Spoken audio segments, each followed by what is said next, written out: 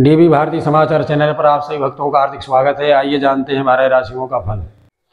आइए, सबसे पहले राशि है मेष। मेष राशि वाले व्यक्ति भाग्योदय ने पद की प्राप्ति।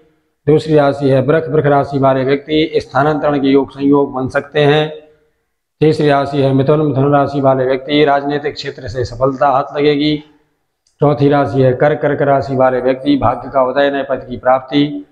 पांचवी राशि है, सिंह सिंह राशि वाले व्यक्ति स्थानांतरण के योग संयोग बन रहे हैं। छठवीं राशि है, कन्या कन्या राशि वाले व्यक्ति तीर्थ आदि क्षेत्र में भ्रमण के लिए जा सकते हैं। आज आप सातवीं राशि, तुला तुला राशि वाले व्यक्ति, अटका हुआ काम सिद्ध संपन्न होगा। धन, लक्ष्मी आदि के योग संयोग बन सकते हैं। आठवीं राशि, वृश्चिक वृश्चिक राशि वाले व्यक्ति, भूमि का क्रय विक्रय करने पर अधिक सफलता हाथ लगेगी। नवम राशि धनु धनु राशि वाले व्यक्ति स्वास्थ्य उत्तम व्यापार श्रेष्ठ रहेगा। दसम राशि है मकर मकर राशि वाले व्यक्ति अनेस अचानक कोई लाभ या शुभ संकेत प्राप्त होंगे। कृषि जगत से लाभ प्राप्त हो सकते हैं। ग्यारहवीं राशि है कुंभ। कुंभ राशि वाले व्यक्ति मानसिक तरह बेचैनी कम होगी। विद्या, अध्ययन आदि जैसे क्षेत्र से सफलता हाथ लगेगी। स्वास्थ्य उत्तम रहेगा। बारहवीं राशि है मीन। मीन राशि वाले व्यक्ति कानूनी कोर्ट कचहरी मुकदमों पर विजय प्राप्त।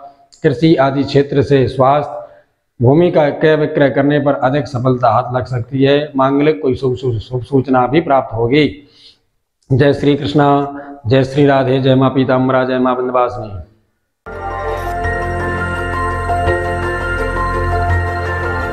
देखते रहिए डीवी भारती समाचार। नज़र हर खबर पर।